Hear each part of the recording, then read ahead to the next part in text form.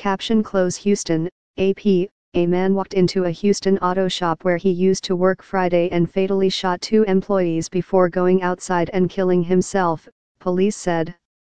The man, whose name wasn't immediately released, entered Beemer Plus about 4 p.m.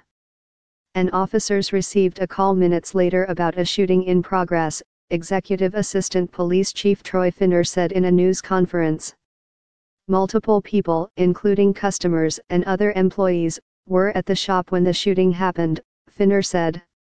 It's very, very sad this time of year and any part of the year that we lose three citizens, Finner said. I just ask our great citizens of this city to pray for each victim here and their families.